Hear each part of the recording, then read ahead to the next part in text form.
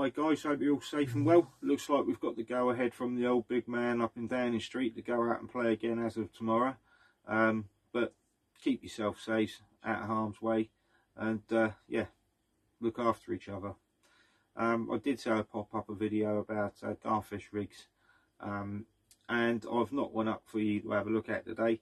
It's basically a seven foot rig body with uh, three three foot snoods coming off of it at the very top of the rig, right at the very terminal link where I attach my uh, shock leader to the rig body, I use a quick link and I like to try and sleeve them if possible.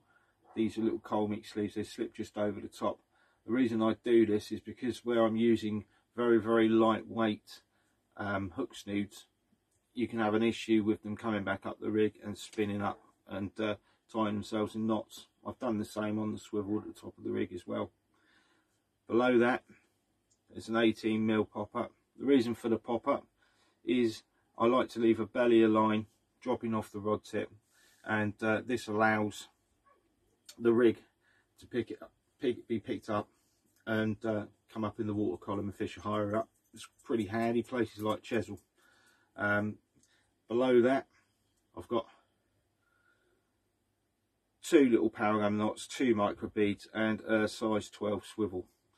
And off of that I've got three foot of Seaguar 1.5 diameter fluoro. Attached to that is a little section of soft pop-up foam.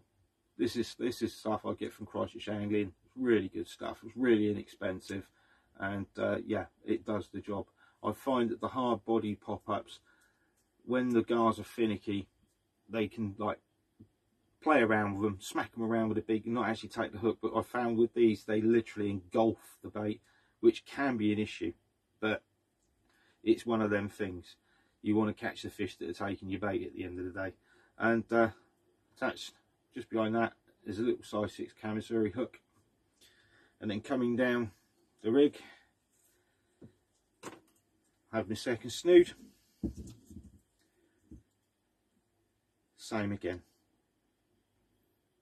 Power gum knots, micro bead, size 12 swivel, pop up foam, size 6 Camassuri.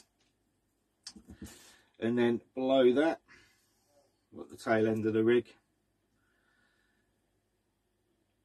I've got a little boom swivel attached to that with a little bit of rig tubing and uh, a finesse clip below with a lovely little lead there.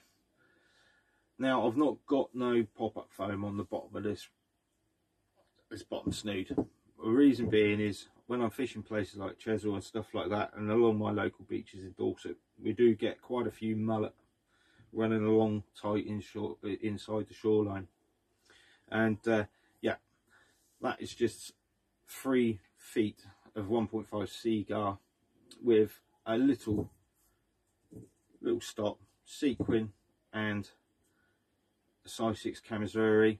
I like to fish with either a bunch of maddies or even just small ragworm. You can pick up all sorts of bits and pieces like that, but primarily I'm, I'm looking for mullet. I like using them as bait. Unfortunately, some of you will be um, cringing at the thought of me doing that, but yeah, they're a top bait. And uh, yeah, that's basically the rig. What I'll do is I'll uh, attempt to hang it and take another video and I'll pop up all the uh, components I've used in the list of the comments below, on below the video. All right, cheers guys. Stay safe and be lucky.